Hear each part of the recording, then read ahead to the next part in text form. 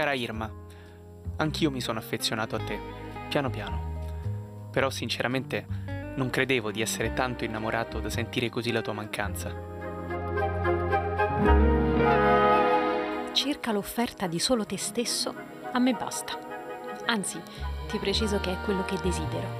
Te, con la tua testa, anche con i capelli dritti, con i tuoi pensieri, con i tuoi ideali, con le tue aspirazioni, con i tuoi pregi e anche con i tuoi difetti. E soprattutto te, con il tuo cuore. Cara, mi vuoi proprio bene davvero? È questa, a mio avviso, la prima regola di un vero amore, il volersi bene. Ebbene, io sento che te ne voglio tanto. Ti penso sempre. Qualora dovessimo decidere per il sì, se io lascerò tutto solo per te, avrò bisogno di te come dell'aria che respiro, della tua fiducia, della tua stima, dei tuoi sentimenti. Popolo del miele, perché non me la sono dimenticata questa frase.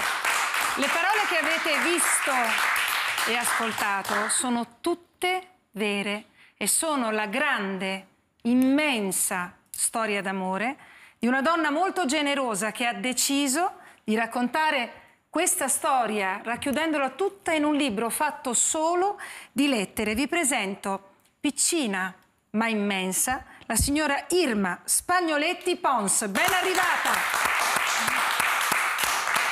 Insieme a sua figlia Angelica, grazie di essere con noi, e, e il, suo Giulio, il suo Giulio a cui lei scriveva queste lettere e che le rispondeva scrivendo eh, queste lettere eh, che oggi non c'è più ma che le è sempre accanto. Mi sta sempre vicino e lo sento vicino. Quando ho difficoltà lo chiamo e lui mi aiuta. Senta signora, lei ha deciso, trova... guardate io tocco questo come se toccassi un quadro di Caravaggio, un'opera d'arte, perché questa è l'opera dell'amore ed è amore vero. Lei ha deciso, ritrovando tutte queste lettere, datate in che anno siamo? Negli anni 60? Dal 64, fine 64, fino al 66 settembre. Settembre 29. Perché che succede settembre Ci siamo 29 del sposati. 66? Ci siamo sposati, bella come la luce! Ci siamo sposati. Lei ha deciso di prendere queste lettere, di raccoglierle e di farle diventare un patrimonio per tutti noi. Perché chiunque voglia pensare a che cosa sia l'amore deve leggere questo libro. Infatti io avevo pensato di riordinare tante cose dopo che mi era mancato Giulio e ho ritrovato queste lettere che lui aveva messo in ordine con una precisione incredibile e poi ho pregato mia figlia e le ho detto senti, vedi un po' di leggerle, cosa, cosa posso fare? Lei purtroppo è impegnata come con altro tipo di lavoro, mi ha detto eh, mamma guarda mi dispiace ma io non ho tempo, però mi ha aiutato a ricopiarle sul Computer. computer. No, non mi ha aiutato. Lei ha imparato a usare il computer, Sì, ma signora. lei mi ha suggerito. E certo è sua figlia che la arriviamo, eh, Angeli? Ecco, e così ho cominciato a ricopiare queste lettere sul computer.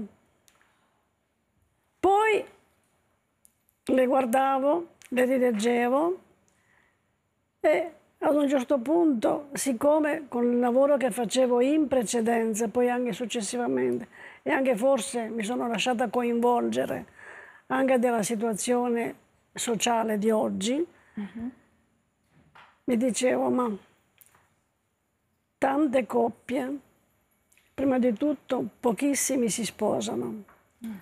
Quelli che convivono dopo un po' di tempo, anche se mettono al mondo bimbi, si separano. Questi bimbi che cominciano a vivere non si capisce come e stanno soffrendo in una maniera incredibile. Io ho sempre amato i bambini, mi sono dedicata a loro per tutta la vita, Lei è stata insegnante. sì, anche insegnante, e quindi questo pensiero mi faceva star male.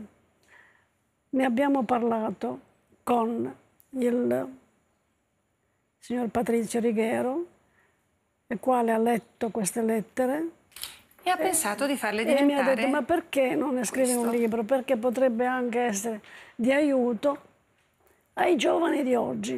Si fermi lì, signor Irma Spagnoletti. Angelica, arrivo tra un attimo da lei. Eh, noi ci fermiamo, ma dovete immaginare, il Molise, cos'è che, da, da che punto in giù è tutto Napoli? Dicevano. Di molti dicono dicevano nel nord che era tutto Napoli. A parte Anche che andava se- benissimo che fosse tutto Napoli, scusate, parlo per, per tifo personale, ma quella coppia in quegli anni, e questa è una situazione di fronte alla quale noi ci troviamo leggendo queste lettere, ha eh, annientato, cancellato anche quella- quel muro che si poteva alzare tra il sud e il nord del nostro paese, come con un'arma che non ammette risposte.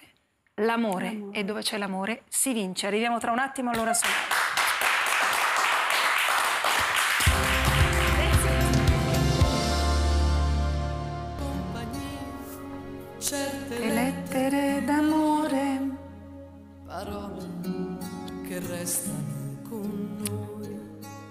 Ci fanno compagnia certe lettere d'amore. Possiamo tenerla questa canzone sotto, vero? Sì.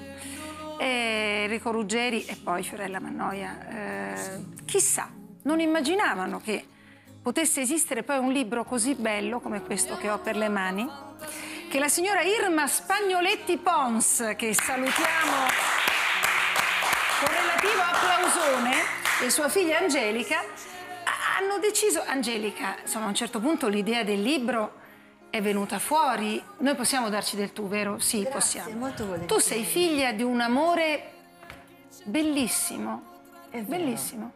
Sempre insieme loro, sempre insieme. Bau bau micio micio proprio. Bau bau, bau bau, micio micio, ma tu, avendo per le mani queste lettere, cos'hai, insomma, al netto del non ho tempo, mamma, perché è normale, è un pezzo di vita di famiglia, però a un certo punto ti sei accorta di avere qualcosa di molto pesante e splendido per le mani? Eh, sì, sì, mio malgrado sì. e abbiamo iniziato a rileggerle. E- ed è lì che hanno preso il volo. Allora, mio papà ci ha lasciati un po' prima del Covid. Loro erano veramente sempre insieme, unitissimi, hanno fatto tutto insieme e condividevano tanto, comunicavano moltissimo. E credo che sia questa in fondo l'essenza, perché se tieni qualcosa nascosto, separato, e questa crea divisione. Invece Certo. se condividi e costruisci giorno per giorno un, so- un sassolino dopo l'altro, Assolutamente, è come costruire un, un mosaico. Provate ad immaginare queste lettere come un mosaico perfetto, meraviglioso, eh, di una vita a due, dove, signora, da parte sua emerge, lei è molisana, dico bene? Me lo fa fare il gesto? Siete come la roccia voi. Molisana, Molisana. Molisana doc. Cos'è doc? Molisana Doc.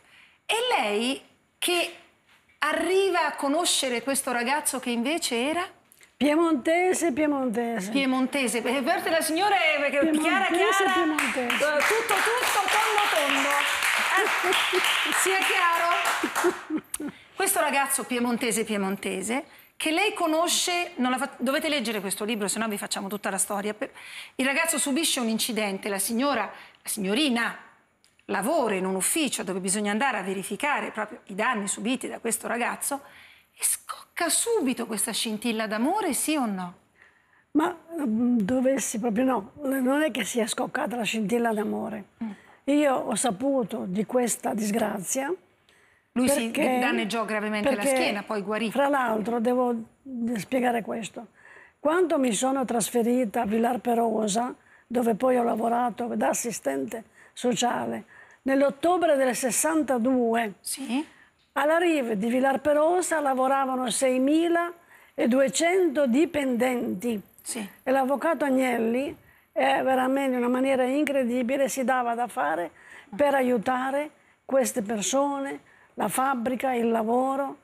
E io ho seguito, perché sono arrivata a Villar Perosa come assistente sociale, mi avevano detto che dovevo alloggiare nell'albergo della Rive, Sì. che dovevo lasciar libero nel periodo delle ferie perché andava la Juventus. Arrivava la Juventus a Andava fare la l'allenamento, certo. Quindi io veramente quando sono finita a Villar Perosa, all'inizio quando mi hanno detto l'assumiamo da Torino a Villar Perosa, e dov'è? Dov'è? non sapevo neanche dove fosse. Però, però da, da- da Torino a Villar Perosa, da Villar Perosa a- ad andare a visitare questo giovane, Ecco, è eh. successo questo. Io sono arrivata a Villar Perosa ad ottobre. sì, Al 16 di agosto del 63, quindi io 62, 63, questo giovane ha fatto un volo di 9 metri. Mm. Lavorava già come impiegato alla RIV, suo papà lavorava alla RIV anche come capo, la mamma faceva l'operaia. ecco. E siccome si è distanti un po' dal paese, dalla RIV, tutto a piedi, non c'erano le automobili come adesso.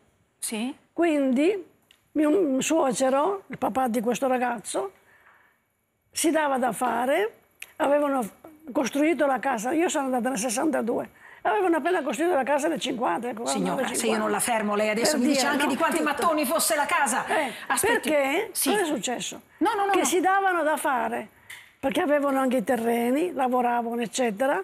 C'era la mucca, le, eh, i conigli, le galline, quindi si davano da fare per poter raccogliere il fieno. E infatti suo marito Quindi ha mio incidente. marito ha un incidente proprio al 16 di agosto, fa un volo di 9 metri Sì, perché era andato a prendere del fieno per suo papà e ha fatto perché c'era Benedetto Fieno, signori. Il ragazzo fa un volo di 9 metri, si danneggia la la schiena, schiena, proprio, si ma la schiena poi schiena. tornerà. La sua eh, fortuna, tra due virgolette, Sì. che adesso è un cortile grande, eccetera, non era ancora lastricato, c'era la terra proprio Signora, lei normale. quanti anni ha? Bruta bruta, me la dica. Bruta bruta, tondo tondo, quello quello. Oggi la signora ci ha messo il raddoppio a tutto. Lei quanti anni ha, signora Irma? Io Posso- ne ho 84 li ho compiuti agosto. La signora... E va bene che è la storia della sua vita, ma per questo ho detto, se non la fermo mi dice anche quanti- di quanti mattoni fosse fatta la cascina, si ricorda tutto. E se non è subito No, Ho dovuto, Forse non scusi, è ho subito- dovuto dire subito questo colpo di fulmine? Perché se non ci fosse stata la terra, a Ah, quest'ora certo. lui sarebbe morto. Certo. Invece in quel modo lì, con questo volo di 9 metri, si è spaccata la schiena. Eh, a insomma, quel eh. tempo la ditta aveva una mutua privata Amalf. Signora, se lei Eh, adesso mi va di rive di no, Malfa, ma per io dire- mi perdo. No, no, non la Scusa. voglio fermare, non la voglio fermare. Io Però sì. voglio arrivare, io sì, dice L'hanno Angelica. accudito, eh, l'hanno se- 84 anni. aiutato. Sì, ma l'hanno aiutato, signora, Dio voglia, eh, perché, perché se ti fai male, ti fai male sul lavoro, vai aiutato. E questa la prendo come parentesi. E la sottolineo ulteriormente. Però io voglio tornare alle lettere d'amore perché c'è Infatti un arrivo attimo- subito a quello perché Eh, io l'ho conosciuto, conosciuto come assistente qua, eh. sociale, ho fatto il mio lavoro come seguivo anche tanti altri dipendenti. Eh, mo, con tanti Eh, altri dipendenti, no, no. questo lo seguiamo con in un altro loro, modo. no, no, con loro si è creata poi una- un rapporto di amicizia anche con la famiglia. Ho seguito spesso anche la mamma che aveva ogni tanto dei problemi di salute. E poi alla fine dell'anno 64 Sì, io mi sono, dovu- mi sono tra- non dovuta, mi sono trasferita sì. da Villar Perosa a San Salvo, che si trova tra Termoli e Vasto. Quindi è tornata a Sono casa, tornata diciamo a casa così, certo. perché avevano appena costruita la vetreria più grande di Europa, 2000 dipendenti e distava questo eh, una trentina di chilometri dal mio paese. Mio Però papà- distava troppi, distava un'esagerazione di chilometri da Giulio.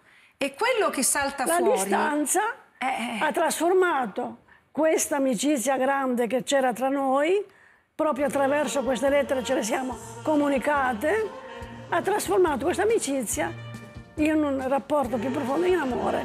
Signori, e per una volta dobbiamo smentire Modugno, perché la lontananza ha prodotto questo. Oh, signora Irma, lei mi deve perdonare, io, No, no, no, io ho dei mancherebbe. tempi per i quali la devo rincorrere. Lei giustamente invece mi sta, ci sta regalando la sua vita, ci sta raccontando cose, guardi, e credo questo anche a casa, anche molto importanti da un punto di vista di- del come eravamo, no? Del- dell'Italia che era. Ehm, voi arrivate a sposarvi, a giudicare da questo libro, sapendo esattamente cosa andavate a fare. E mi faccia quella faccia furbetta, perché lei glielo dice proprio. Ti- a me tu piaci anche con i tuoi capelli dritti. Sì, li aveva anche dritti, è vero, ma insomma eh, vi siete scelti. Ecco, quello che viene fuori da queste lettere è la scelta di uno verso l'altro. È, è tanto. Eh, Vi siete amati profondamente. Qual era la qualità più bella di suo marito? Era una persona, prima di tutto, onesta, rispettosa, cristiano, moralmente a posto, amante della famiglia, amante proprio dei genitori. del- Lui proprio viveva proprio perché credeva nella vita e voleva a tutti i modi rispettare quello che la vita ci richiede. Gli impegni, Però, i doveri. Non è che trovasse difficile, ci si dava da fare perché potessimo risolvere poi insieme i problemi che la stessa vita ci, ci presenta tutti i giorni. lei che è arrivata come la ragazza del sud, eh, guardata esattamente come suo marito del nord sarebbe stato guardato probabilmente eh, a casa sua in Molise, insomma sei, è paradossale, ma sei di un'altra parte di questo paese. Eh, questa ragazza poi è diventata la luce dei suoi suoceri, è diventata l'angelo custode di tutta quella famiglia. Voi vi siete sposati a Chieti, avete fatto il viaggio di nozze che è stato risalire l'Italia e andare in Piemonte. Sì, È stato bello il viaggio. molto. Ma voi lettere ve ne siete scritti più dopo? No. No, perché ormai non c'era più bisogno di scrivere le lettere, eravamo insieme, quindi quello che ci passava per la testa, eh, ce lo dicevamo. Però io, io lo adoro. No, vabbè. Dunque, E quello che, quello che è stato sempre bello, che io veramente, anche lui, mio marito apprezzavo, che non abbiamo mai nascosto niente all'uno e all'altro. Tutto quello che avevamo in testa, che avevamo ancora, ce lo siamo sempre detto, perché ognuno potesse aiutare l'altro se c'erano delle difficoltà e ognuno potesse far gioire l'altro se c'erano delle cose belle, l'amore. come capisco resto. suo marito che si è innamorato di lei, eh? Lo capisco perfettamente. Cara signorina Irma, poi lettere, quattro pagine, quattro pagine, dice mando i Whatsapp. Cara signorina Irma, io non sono affatto un rebus. Le dà del lei per dirle "Mm, mm, mm". il mio comportamento nei tuoi riguardi forse sì è stato un rebus e non tanto per te quanto per il sottoscritto, credo. Infatti, che non mi sei indifferente, l'hai capito da un pezzo. Ma visto e considerato che non sono un rebus, credo dover riconoscere che per quanto interessa i nostri rapporti affettivi, ho dimostrato di essere un inesperto, un indeciso, un onesto, che pensa troppo, un mezzo fallito. Amore, ma come si faceva a non cadere innamorati di un uomo così? C'è Angelica che sollucchera. Le abbiamo messo dei pesi nelle tasche per evitare che salisse su nello studio. Ehm, conservare questa memoria che significa? Ah, innanzitutto tirarla fuori è stato salutare, perché le emozioni vanno vissute ed espresse, se no ci si ammala. Questo è È anche il mio giusto, lavoro, certo. ma la prima persona, il mio primo prossimo, alla fine è la persona con cui la Questa è condivido. Angelica in una foto che ci ha permesso di mostrare. Sì. Bene. E, e questo l'ha aiutata a superare comunque la partenza per il cielo del mio papà, sicuramente. Per noi è, è tanta roba tutto questo, Certo. perché ci riconosciamo, ci si riconosce la famiglia, il paese. Poi sono storie di ampio respiro, non stiamo nel nostro piccolo nucleo, ma Giustissimo quello che dice Angelica, cioè questa storia, credete, eh, appartiene a tutti. Nell'istante in cui tu inizi a leggere, guardi signora, per un attimo noi abbiamo detto, ma possiamo? Nonostante fosse già un libro, perché entri nella vostra vita, però poi dopo uno si sente rappresentato o trova il modo anche di come dire, di applicare queste lettere. Ma se fosse stato tutta conversazione telefonica, Non sarebbe successo niente. L'ha detto lei, eh. L'ha detto lei. E le compagnie telefoniche non ce ne vogliano. Non sarebbe successo niente, vero? Non sarebbe. Quando lei, quando lei fra cent'anni a partire da oggi, in un altrove, rivedrà il suo Giulio che le viene incontro, che gli dice? Ah, che bello rivederti, meno male, sono proprio contenta. Signori, ci fanno compagnia certe lettere d'amore. Eh, Irma eh, Spagnoletti e Giulio Pons, perché giustamente c'è anche Giulio tra gli autori di questo libro, c'è Angelica e allora io voglio fare un salto e onorare con queste immagini che ha messo insieme la mia, la nostra Laura Bernardini, eh, un'altra donna che ha amato tanto, è morta 50 anni fa, era il 26 settembre del 1973 e noi continuiamo a portarla nel cuore. Perché? Perché lei se lo merita. È Anna Magnani. Ma che luna, ma che luna c'è stasera. Veder mondo, chi s'affaccia a sta da San Pietro all'altre cupole laggiù, fino al mare più lontano sempre più.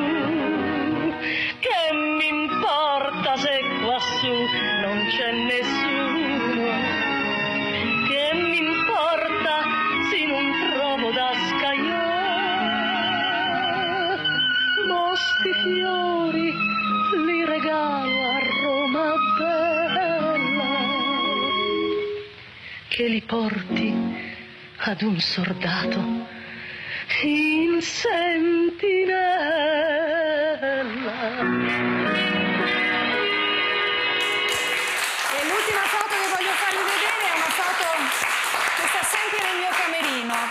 Questa è Anna Magnani con suo figlio Luca.